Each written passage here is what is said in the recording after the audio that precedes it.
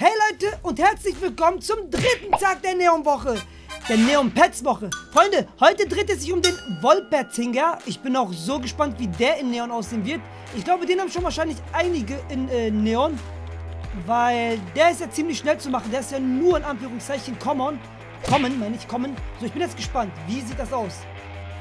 Und ja, ja, doch, ziemlich cool. Ich muss schon sagen, der Wolpertinger, also der Wolpertinger, der ist super. Also schaut mal hier, schön die, oh, oh, das sind die Ohren, ne? die Ohren und so das Fell unten, das sieht äh, schön in gelb aus und gelb-weiß, sieht super aus. Ich muss sagen, der gefällt mir ziemlich gut.